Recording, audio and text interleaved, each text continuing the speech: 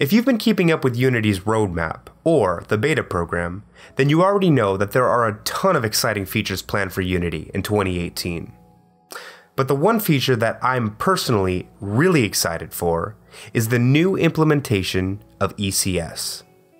If you aren't sure what that is, or you'd like to learn more about it, then this is the video for you. Let's start things off with a formal definition. ECS stands for Entity Component System. Entity Component System is a design pattern consisting of, you guessed it, entities, components, and systems. An entity is a collection of components. Entities are usually implemented as bare-bones objects, consisting of nothing more than a unique ID. A component is a data container. Components contain one or more value fields that relate to one aspect of an entity. A system operates on a collection of entities that are made up of a specific subset of components. They define your game's behavior and are the only objects that actually contain any logic. Let's take a look at a high level example. Here's a diagram containing the components for an entity that I've decided to call player. But it isn't this entity's name that makes it function as the player's avatar. Rather, it's the player entity's components and the systems that act on those components that give it that functionality. For instance, player has a view component. Well, if we added a render system to our game, whose job it was to draw any entities that contained a view component, then we'd be able to see our player and other entities on the screen. And if we added another system, called input system, that acted on entities with a physics and input component, then we can actually begin to control the player entity. That's basically how entity component systems work. Your logic lives in systems that define behavior for entities that contain only the components that those systems care about. This is just as true for a system that operates on a single entity as it is for one that iterates over hundreds of entities. It's definitely an interesting approach to architecting your game code. And so far, game code is actually all we've really focused on. But one of the coolest things about Unity ECS is that systems are eventually going to be used for every aspect of Unity's lifecycle. Game code, editor code, asset pipeline code, and engine code will all utilize ECS.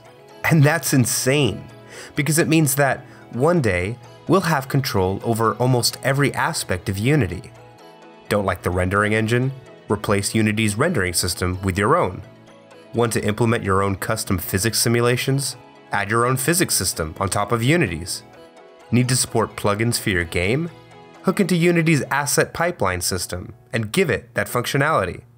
Now that would be a pretty big change for Unity. Which leads us to an important question that you may already be asking yourself.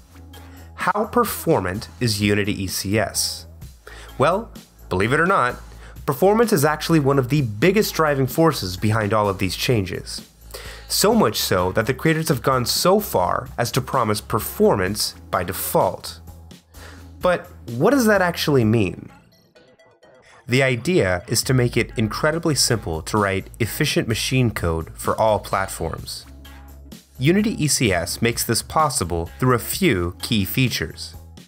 The first is an optimized data layout. When you write your code using pure Unity ECS, your component data is guaranteed to be stored in memory linearly. This means that your systems will access entity components in the most optimal way possible data access just doesn't get much faster than that. The second is multi-threaded code. Systems in pure Unity ECS are implemented as jobs and are ran by Unity's new C-sharp job system. If you aren't familiar with the C-sharp job system, let's just say that it allows you to write multi-threaded code in a safe and simple way. With very little effort, all of your systems will run in parallel and utilize all of the cores in your processor. The third and final feature is Unity's new Burst compiler. The Burst compiler was designed to compile C-sharp job code in the most optimized way possible.